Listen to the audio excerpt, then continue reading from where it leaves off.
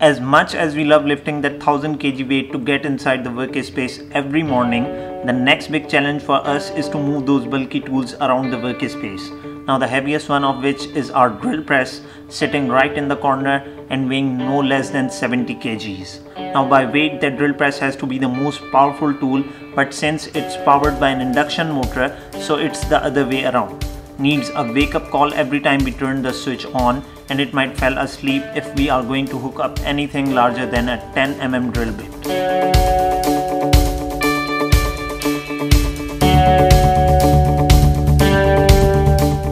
Currently the induction motor is transmitting the power to the drilling chuck using a belt and pulley mechanism. Now the different combination of pulley on both ends is to achieve a variation in speed and torque but none of them seems to work as expected so the only option we are left with is to swap the whole powerhouse.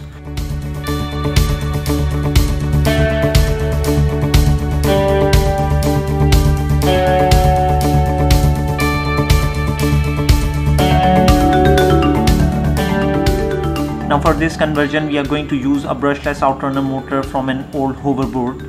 It's dirt cheap and believe me it's got lots of torque which hopefully will help us to drive the chuck directly without the need of an additional gearing mechanism. So the first thing we need to do is to modify the motor so that we can attach it directly to the main drive shaft behind the drill chuck.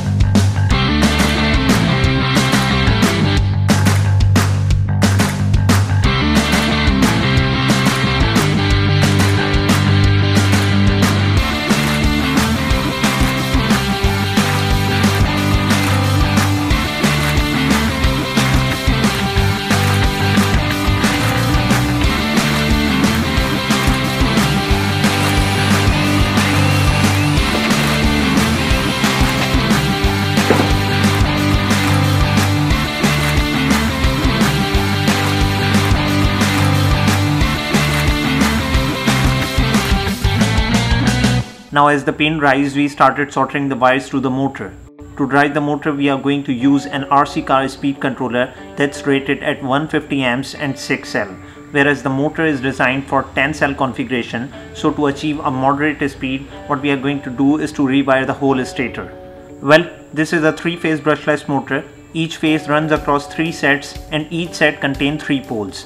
With this configuration, it takes the current more time to travel across all 3 sets as they are connected in series. So what we have done is to connect all 3 sets in parallel, allowing the current to complete each cycle within a short duration and thus increase the speed of the motor by 3 times as much the original speed.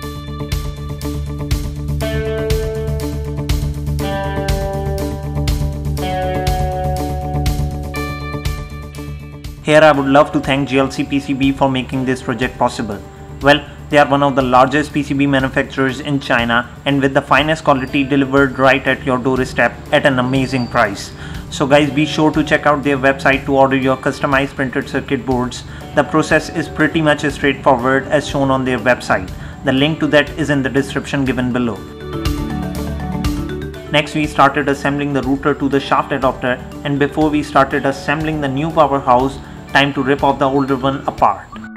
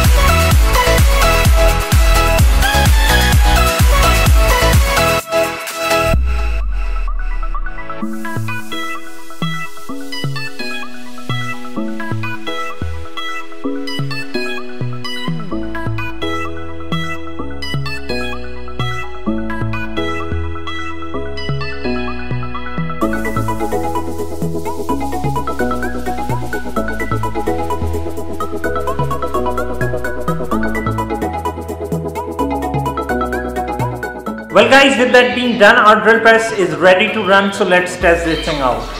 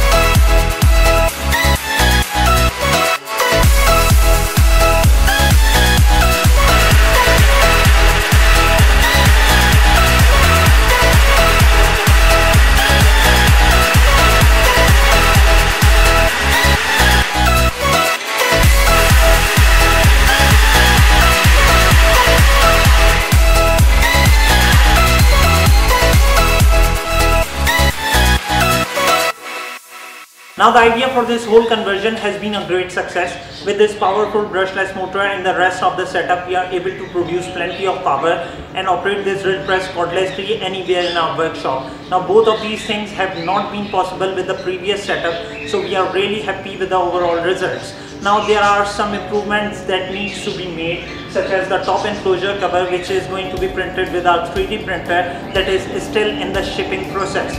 So we are definitely going to do another video which will help us to make some improvements that will definitely finish this whole thing and make it more convenient for our use. So I'll definitely see you soon in our upcoming project video. Till then take care.